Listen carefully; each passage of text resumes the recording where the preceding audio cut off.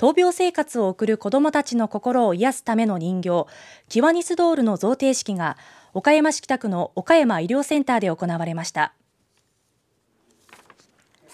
高校生が病気と闘う子どもたちのために作った真っ白なキワニスドールです。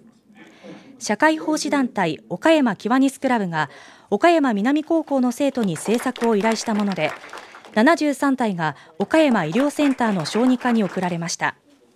キワニスドールは顔や服などを自由に描けるのが特徴で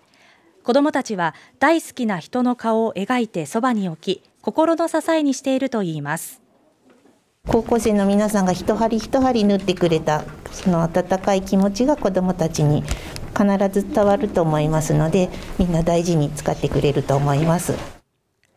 岡山キワニスクラブはこれからも病院や児童養護施設にキワニスドールを送り続ける予定です